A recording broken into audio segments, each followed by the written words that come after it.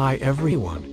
In this video, we're going to take a look at how you can turn on your Samsung Galaxy A13 without the power button with a broken power button. So what you need to do is press on the volume up and volume down key together at the same time, and while doing that you need to plug it into your computer.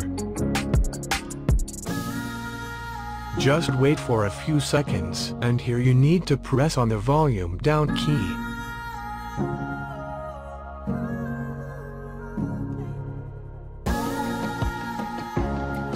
And the phone now will proceed to restart and then it will turn on. Thank you for watching this video, please subscribe to my channel for more videos.